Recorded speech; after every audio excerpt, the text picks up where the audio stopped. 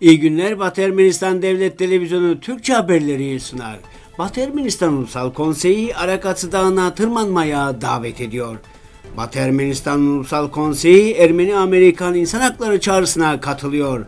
Artsak'ı ziyaret edin. En azından Artsak'ta yaşayan Ermeniler kendilerini yalnız hissetmesinler diye ziyaret edin. Suriyeliler ve Türk işgalciler arasında çatışmalar çıktı. Batı Ermenistan'daki Kars'ın aşırı sıcaklığından etkilenen vatandaşlar Çıldır Gölü'ne akın etti. Batı Ermenistan'daki Aslantepe Höyü UNESCO Dünya Kalıcı listesine girecek.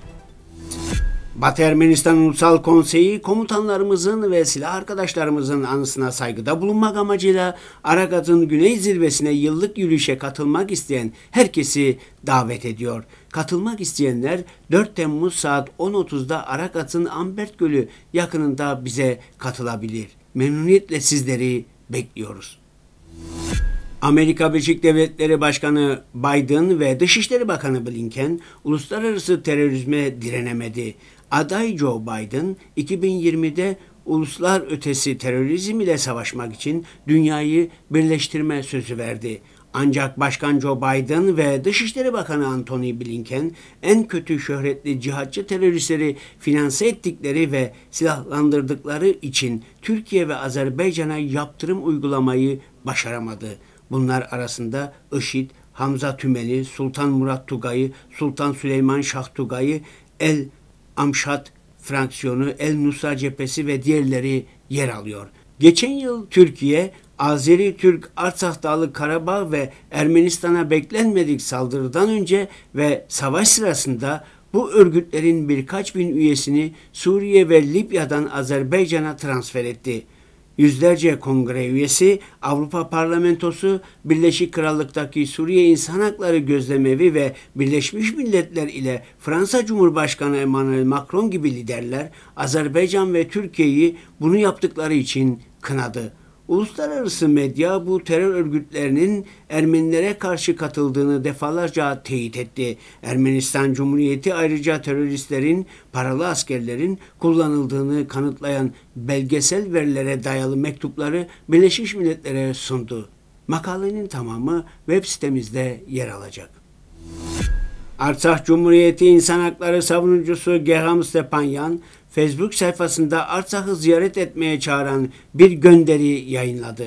İşte Stepanya'nın gönderisinden alıntılar. Sevgili yurttaşlar, sevgili Ermeniler, sevgili insanlar, 30 yıllık gerçekliğimizin imajını tamamen değiştirdiği günden bu yana 7 ay geçti. Her yılın bu dönemi Ermenistan Cumhuriyeti'nde diasporada sürgünde yaşayan yurttaşlarımızın ve yabancıların Artsak'ı keşfetmeleri, doğanın bakirliğinin tadını çıkarmaları, asırlık Ermeni ve Hristiyan kültürüyle tanışmaları için bir dönemdi sürekli savaş tehlikesi içinde olan ülke aynı zamanda herkese huzur vermiş, sonsuza kadar bu topraklara bağlanmıştır. Çok şey değişti. Bugün Artsak'ta pek çok zorluk var. Savaşın sonuçları Artsak'ı anlamından ve derin içeriğinden değil, eski cazibesinden mahrum bıraktı. Ancak biz buradayız, yeniden ayağa kalkmayı umarak aynı yerdeyiz. Hepinizle birlikte.'' Artsak'ı ziyaret edin. En azından Artsak'ta yaşayan 100 bin Ermeni kendini yalnız hissetmesin diye ziyaret edin. Artsak'ta yaşayan Ermenileri Artsak'ı her zaman Ermeni olarak tutmaları için teşvik etmiş olursunuz. Haydi Artsak'a gelin, burada seni bekliyorlar. Tıpkı Artsak gibi işgal altındaki Batı Ermenistan da sizin ziyaretinize ve birliğe ihtiyacı olduğunu hatırlatalım. Menbiç bölgesindeki El Sajur cephesinde Menbiç askeri güçleriyle Türk yanlısı gruplar arasında çatışmalar çıktı. Ayrıca Tel Abyad kantonuna bağlı Arida ve Birketik köylerine bugün saat 9 sıralarında Türk işgalci ordusu ve çetelerinin ateş açtığı bildirildi. Unutulmamalıdır ki pazartesi akşamı Afrin'in işgal altındaki Şerava bölgesine bağlı Hirbeka köyü Türk işgal ordusu ve çeteleri tarafından top ateşine tutuldu. Askeri muhabirler işgalcilerin yerinden edilmiş Afrinlerin yaşadığı bir okula saldırdığını söylüyor. Ölü ve yaralılar hakkında henüz bir bilgi mevcut değil. Batı Ermenistan'ın Kars kenti son yılların en sıcak yazını yaşıyor.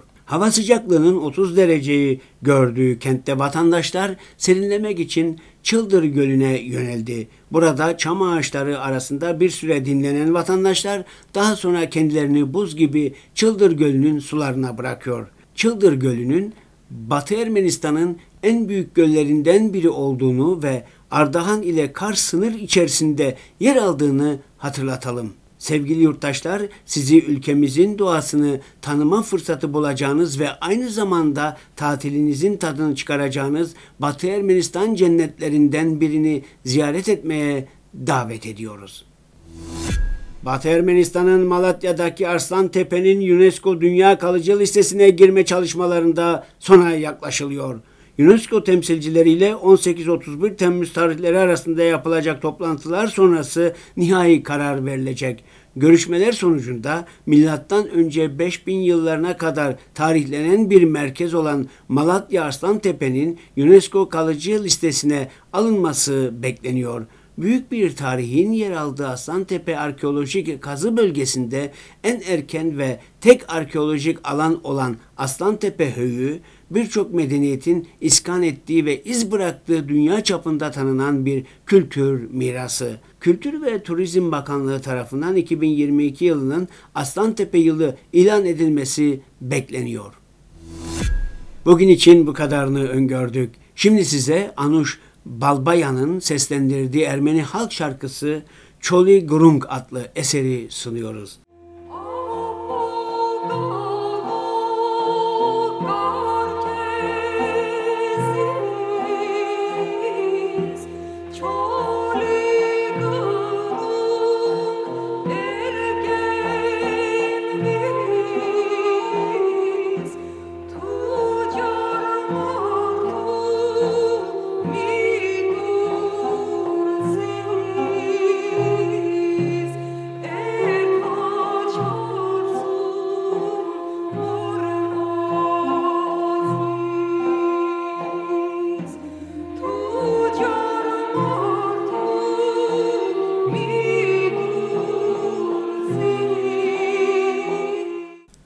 Eserin tamamını Batı Ermenistan Devlet Televizyonu'nun resmi sitesinden izleyebilirsiniz.